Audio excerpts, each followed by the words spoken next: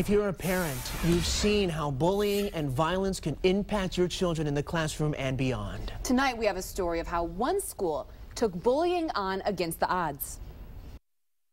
The most recent census found more than 47% of people in Highland Park live in poverty. Growing up there brings challenges. At the George Washington Carver Academy, those challenges resulted in kids acting out with violence. After 91% of the students had been suspended. Pastor Ovella Andreas with the United Communities of America saw the problem and knew it impacted how much the kids were learning.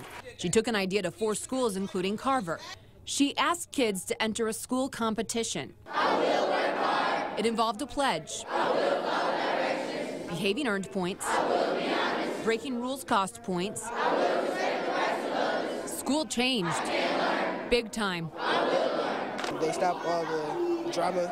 There weren't a lot of people in the dean's office, so everybody's still here. No one is suspended, so that's good. All of the schools reported reduction in violence. This school reported no violence. Let me repeat that. There have been no fights this year at this school, as in zero. So this week, kids at a school where last year 91% of them had been suspended for fighting won the Students for Peace competition. And we're fighting for each and every one of you in this school. So you can become a beacon of light. Highland Park Mayor DeAndre Windom delivered the school a trophy and word Kids get to enjoy a roller skating party.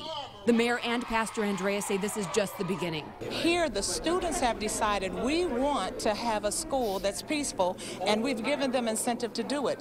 Once they experience that environment for that one day, it carries on.